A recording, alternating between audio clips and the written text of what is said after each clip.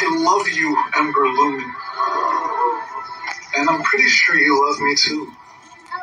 No, Wade.